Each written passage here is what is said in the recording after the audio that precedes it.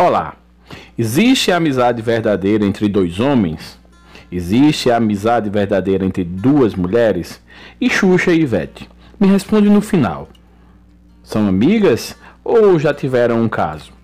Pois essa semana a loura Xuxa Meneghel pôs panos quentes nessa conversa. Ela quer encerrar esse papo que há muito tempo questiona ela e também Ivete. Xuxa disse à revista Caras Argentina que já recebeu muitas, inúmeras cantadas de mulheres e sempre respondeu à altura. Quando se foi um convite educado, ela respondeu educadamente. Quando foi um convite mais quente, ela também respondeu. Porém, ela diz que suas respostas sempre foram não. Que também já lhe fizeram essa pergunta sobre se ela teria um caso com Ivete e ela sempre negou. Disse que não.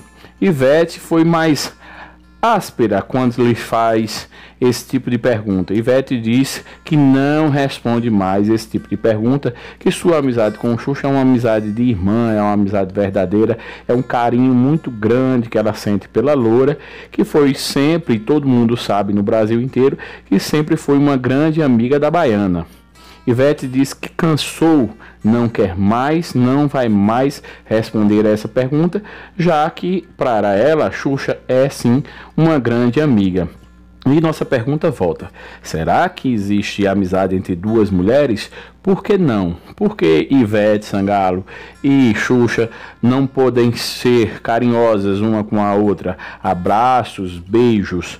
Será que isso é sinônimo de não ser amigo e ser algo mais? Ou será que você acha que os jornalistas querem vender revistas, querem vender jornais, querem que seus sites sejam acessados e aí criam historinhas envolvendo celebridades e até mesmo coisas que não existem?